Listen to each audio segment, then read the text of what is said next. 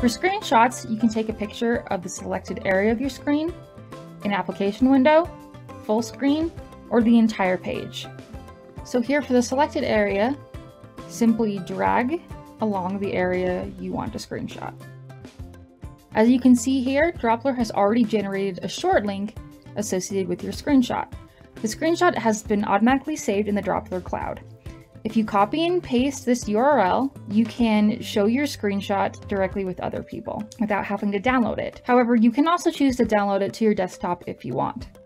You can also mark up your screenshot using arrows, shapes, pencil and highlighter, smiley faces, text, and our blurring tool, which lets you blur out sensitive information.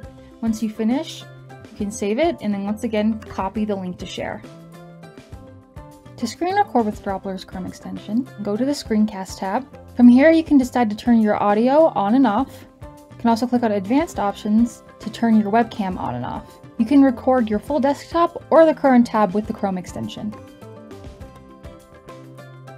You can check right here to see if your webcam is in the right place. Then when you're ready to record, simply press the play button.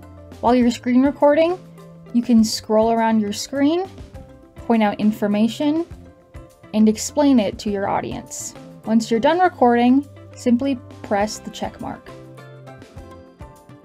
When Droplr is finished preparing your recording, you can choose to download it, trim it. Let's go over video trimming a bit more. You can trim from the beginning of the recording and the end of the recording to cut out any recording that you don't wish to include in your final video. Once you're ready to start trimming, Droplr will trim your video and create a new screen recording with a new link that you can copy to share.